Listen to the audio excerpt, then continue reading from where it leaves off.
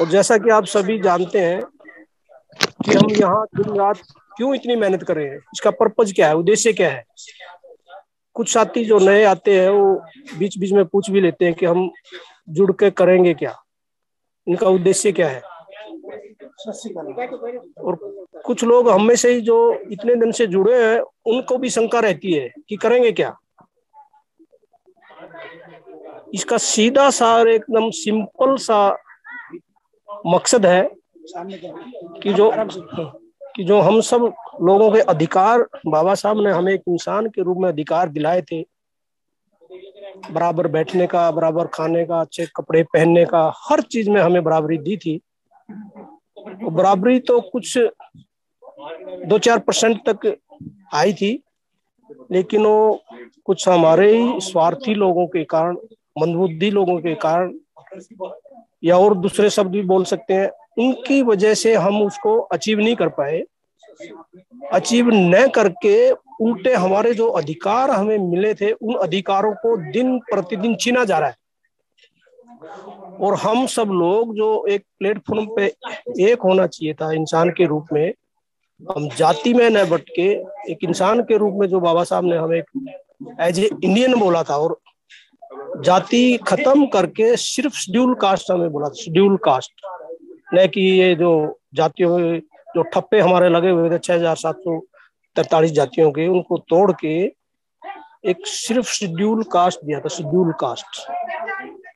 लेकिन कुछ लोगों के दिमाग में अभी भी नहीं आया, जो पढ़े लिखे अपने आप को बहुत बड़े विद्वान समझते हैं कि हम तो बहुत बड़े हैं। वो आज भी अपनी जाति का पीछे में लगाते हैं। जाटव लगाते हैं, चमार लगाते हैं, धानक लगाते हैं तरह तरह के टाइटल लिखते हैं, जिससे वो आपकी वो पहचान पहले ही पता लग जाता है कि ये किस कम्युनिटी से है। जबकि बाबा साहब ने एकदम इसके ऊपर बिल्कुल प्रतिबंध लगाया था कि कोई भी आगे यदि मुझे विश्वास है कि जितने आदमी इसमें जुड़े हुए हैं दो चार को छोड़ के सभी ने annihilation of caste ज़रूर पढ़ी होगी। बाबा साहब ने जाति का इतना कड़ा विरोध किया है, उस तो उस टाइम तो देश आज़ाद भी नहीं हुआ था, उस टाइम उन्होंने ग्रंथ लिख दिया था, जाति तोड़ो। लेकिन फिर हमारे लोगों के दिमाग में आज तक पता नहीं ये बात क्यों घर किए हुए है कि हम जाति का जो बहुत बड़ा गट्ठर बाँध के अपने सिर पर ढो रहे हैं, जिसकी वजह से हमारे को आज भी इंसान की श्रेणी में नहीं गिना जाता। इस देश में कास्टें तो बहुत है। क्या उनके साथ जो एट्रोसिटी होती है, कभी आपने कभी पेपर में, कभी टीवी में सुना है? नहीं सुना, क्यों नहीं सुना? क्योंकि वो सब एक है। हम हम एक इसलिए नहीं है कि हम या तो तो बाबा साहब का जो धम्म है, ज्ञान है, पुस्तक है, वो हमें पढ़ी नहीं है। आज भी जो इस देश में सदियों से जो इन लोगों ने पाखंडवाद इस देश में चलाया हुआ था, किसी के शिव जी के नाम पे, हनुमान के नाम पे, भगवान के नाम पे, सरस्वती के नाम पे, दुर्गा के नाम पे, पूजा पाठ के नाम पे, वो हमारे दिमाग में और घर में इतना बुरी तरह घर कर गया है कि वो निकलता नहीं है। और उसी की वजह से हम आज भी एक नहीं हो पा रहे हैं। मैं समझता हूँ कि हम सब लोगों ने इधर उधर झांकने की बजाय अपना दिमाग लगाने की बजाय तो बाबा साहब ने मेन पुस्तकें तो बहुत लिखी हैं देश और समाज को सुधारने के लिए, लेकिन जो दो ग्रंथ एक एनिलेशन ऑफ़ कास्ट और रिडल्स ऑफ़ हिंदुजम हिंदू धर्म की पहेलियाँ, वो सब एक बार नहीं, दो तीन बार पढ़नी चाहिए और उसका अनुसरण करना चाहिए। कुछ लोग बड़ी बड़ी पोस्टों पे चले गए हैं आज भी, लेकिन बाबा साहब ने हमारे देश के लिए, हमारे समाज के लिए क्या काम किया, वो आज भी नहीं जानते हैं। और एक दूसरा जो सबसे बड़ा और महत्वपूर्ण जो ग्रंथ है, वो है संविधान। जो सभी से ऊपर है, जिसके ऊपर ये देश चल रहा है, जिससे देश का और समाज का भला हो सकता है, प्रगति हो सकती है तो संविधान भी हम सब लोगों ने पढ़ना चाहिए और उसी का अनुसरण करना चाहिए। इसलिए मैं जितने भी सामान्य साथी इसमें जुड़े हुए हैं, इनसे विनती करता हूँ कि हमारा एक ही उद्देश्य है कि हम ज़्यादा से ज़्यादा, जल्दी से जल्दी अपनी सोसाइटी को, जिसको हम S C S T OBC बोलते हैं, वो सब एक प्लेटफॉर्म पे आ जाए। और जो हमारे अधिकार थे, हमें मनुष्य कहलाने के जो अधिकार मिले थे, अच्छे वस्त्र पहनने के अधिकार मिले थे अच्छा खाना खाने के अधिकार मिले थे कारों और बंगलों में रहने के अधिकार मिले थे, उनको हम बचा बचा ले। क्योंकि आप दिनों दिन देख ही रहे हैं कि हमारे इतने, हर पाँच साल में, हर स्टेट में एमएलए भी बनते हैं, मंत्री भी बनते हैं, एमपी भी बनते हैं, लेकिन हमारे अधिकार दिनों दिन छीने जा रहे हैं, खत्म किए जा रहे हैं। तो किसी भी कोने से, किसी भी इंडिया के किसी भी कॉर्नर से कोई भी संगठन कोई भी समुदाय उसका विरोध नहीं करता कि हमारे अधिकार ये क्यों छीने जा रहे हैं। जबकि वो जो एंटी सोशल एलिमेंट है, जो सदियों से इस देश को तोड़ने पर लगे हुए हैं और अपने आप को एक सुप्रीम पावर के रूप में स्थापित करना चाह रहे हैं, वो सरेआम बोलते हैं। रिजर्वेशन खत्म कर दो। कास्ट के नाम से रिजर्वेशन क्यों है? वो ये नहीं बोलते भी कास्ट खत्म कर दो, गरीबी खत्म कर दो। भ्रष्टाचारी खत्म कर दो, वो बिल्कुल नहीं बोलते। सिर्फ़ रिजर्वेशन खत्म कर दो कास्ट की रिजर्वेशन तो इसलिए मेरे सम्मानित साथियों से मैं एक ही विनती करता हूँ कि हम सबने अपने गिले शिकवे बुला करके एक प्लेटफॉर्म पे इकट्ठे हो जाना चाहिए, ताकि जो हमारे अधिकारों पे ये दिनों दिन जो डाका डाल रहे हैं, उस डाके को रोका जाए और हम भी एक इंसान के रूप में अपने जीवन में जो एक मनुष्य का पैदा होते, होने के बाद और मरने तक जो एक उसका उद्देश्य होता है जीने का, ज़िंदगी का एंजॉय लेने का या एक मनुष्य के रूप में जीने का, उस तरह हम भी एक इंसान के रूप में इस देश में अपनी एक पहचान बनाए। आप इस देश के सबसे ऊँचे पद पे पहुँच गए, लेकिन जो जाति का जो ठप्पा है, वो नहीं छूट रहा आज भी। प्रधान, राष्ट्रपति बनता है तो उसको भी दलित बोलते हैं। रामनाथ गोविंद बाद में बोलते हैं। पहले दलित बोलते हैं, दलित बना दिया हमने। तो एहसान कर दिया इन्होंने किसी ने। ये ऐसा हो क्यों रहा है? हम हम जैसे जो अपने आप को बहुत ही तीस मार खां समझते हैं, इनके कारण हो रहा है। यदि हमारा संगठन हो यदि रामनाथ गोविंद के पीछे एक पावर खड़ी हो तो उनकी ताकत नहीं है कि वो उसको दलित लगा दे या हमें कोई अछूत बोल दे या शूद्र बोल दे। और वो हमारे ऊपर एट्रोसिटी कर दे। कास्टें तो बहुत है, इस हमारे देश के अंदर छोटे छोटे समुदाय हैं। क्या कभी आपने सुना है उनकी बहन बेटी के साथ ऐसा हो गया? क्या कभी आपने सुना है उनको घोड़ी से उतार दिया? क्या कभी सुना है उनको पानी मंदिर में जाने नहीं दिया?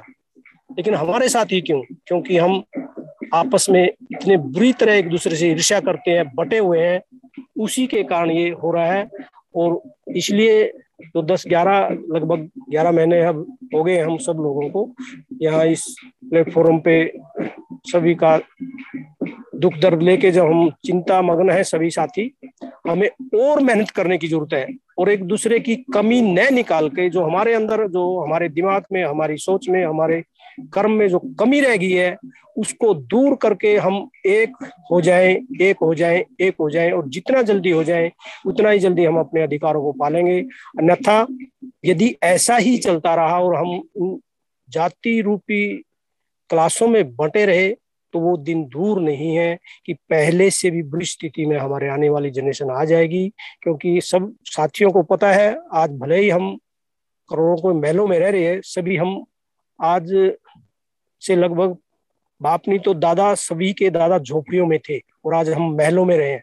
महलों में सिर्फ़ और सिर्फ़ बाबा साहब की बदौलत उनकी कुर्बानी की बदौलत जिसने अपने चार चार बच्चे खो दिए हैं और जो दिन रात ये जो जिसको हम शूद्र बोलते हैं या डाउन प्रोडन बोलते हैं, उनके अधिकारों को दिलाने के लिए पूरे संसार में घूम घूम के दिन रात लगा करके, इतनी मेहनत करके, पढ़ के उन्होंने अधिकार हमारे सुरक्षित किए।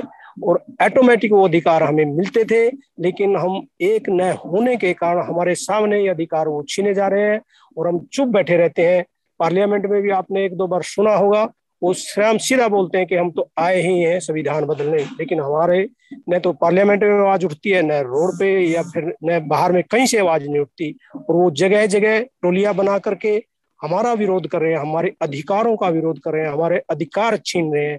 तो इसके लिए दोषी कोई नहीं है, उसके लिए दोषी हमारा समाज है कि हम एक दूसरे की टांग खींच रहे हैं, हमें टांग न खींच करके एक दूसरे की जो पीछे रह गया, उसकी बाजू पकड़ के, उसको साथ लेके, उसको साथ लेके चलना है, ताकि हम अपने अधिकारों को जो हमारे अधिकार छीने जा रहे हैं, उसको रोके हैं तो अधिकारों को जो छीने उनको तो रोके ही और जो हमारे अधिकार आज तक नहीं दिए, उन अधिकारों को जल्दी से जल्दी प्राप्त करें ताकि हमारे जो आने वाली जो पीढ़ी है, वो सुख की नींद, सुख की चैन और आराम और एक इंसान के रूप में जी सके। तो इन्हीं शब्दों के साथ मैं सभी सम्मानित साथियों का साथियों का हृदय से स्वागत करता हूँ कि आप सब लोग दिन रात चिंता मगन है और इधर उधर गाँव में जा रहे हैं जगह जगह संख्या लगा रहे हैं। अभी शायद एक फ़र्स्ट अप्रैल को जो नागपुर जा रहे हैं तो ये उसी कड़ी में हम सब लोग मेहनत कर रहे हैं।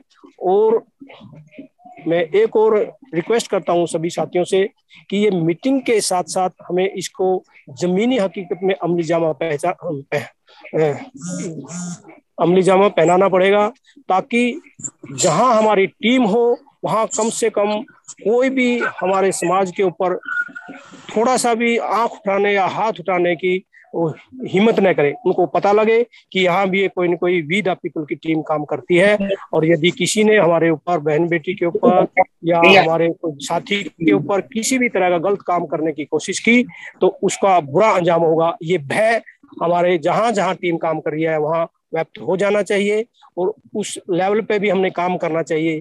जैसे हमारे वकील भाई हैं पुलिस में हैं या मास्टर हैं या जिस भी लेवल के हैं उनकी एक टीम हो और किसी के साथ कुछ भी अनहोनी होती है तो बिना बताए ही जैसे ही पता लगता है तो उसके पास जाके हमें उसकी मदद करनी चाहिए। कुछ आदमी बोलते हैं कि नहीं उस वो तो मेरे साथ बोलता ही नहीं मैं उसके पास क्यों जाऊँ? अरे वो नहीं बोलता तो आप बोलिए ना। आप बोलेंगे तो क्या हर्ज हो जाएगा? इसलिए मैं सभी सम्मानित साथियों को हाथ जोड़ के विनती करता हूँ कि जल्दी से जल्दी एक हो जाए। जितना जल्दी एक होंगे, उतना जल्दी हमारे अधिकार हमारे पास आ जाएँगे। जैसा कि सब कोई जानता है अच्छी तरह कि एकता में शक्ति होती है तो ये अनपढ़ आदमी को भी पूछो कि दस आदमी यदि इकट्ठे हो तो उनके पास आने के लिए कम से कम नौ आदमी या दस के दस आने से तो बीस, दस बार सोचेंगे। हाँ ग्यारह हो जाएँगे तो उनके पास आ जाएँगे लेकिन जब तक वो दस नहीं होंगे तो उनके पास सोचेंगे आगे। तो दस आदमी है।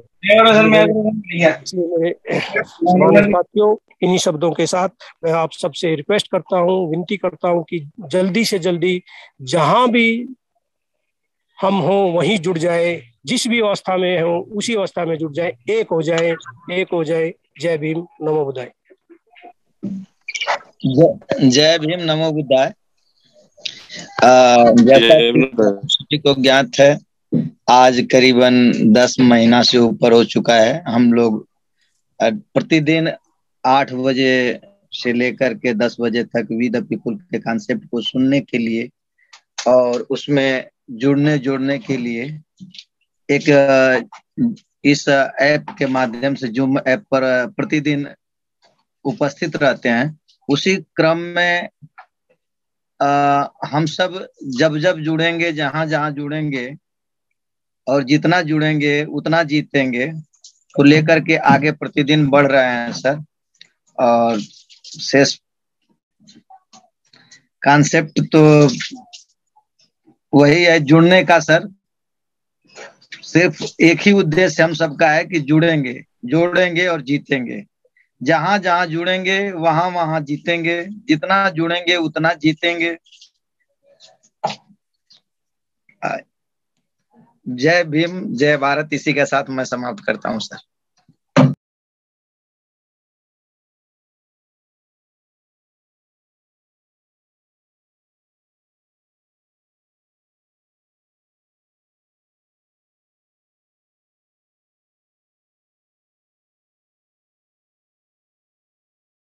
आप सभी से ये निवेदन है कि अगर आपको ये वीडियो अच्छी लगती है या बाकी वीडियो अच्छी लगी हैं, और आपको लगता है कि धर्म की वीडियो किसी को और मिलनी चाहिए या किसी को गिफ्ट में भेजनी चाहिए या किसी भाषा में कन्वर्ट करके आगे बढ़ानी चाहिए या प्रिंट में, किताब में छापनी चाहिए या इसकी जो ऑडियो है उसे निकाल के भेजना चाहिए या इसका किसी पार्ट को इस्तेमाल करना चाहिए तो आपको लिबर्टी है, आपको छूट है। ये सभी कॉपीराइट फ्री हैं। आप अपने फेसबुक पे, अपने पेज पे, अपने ट्विटर पे, या अपने हैंडल पे, या लिंक को कहीं भी शेयर कर सकते हैं, कहीं भी चला सकते हैं, आप यूट्यूब पे भी चला सकते हैं, अपने नाम से चला सकते हैं।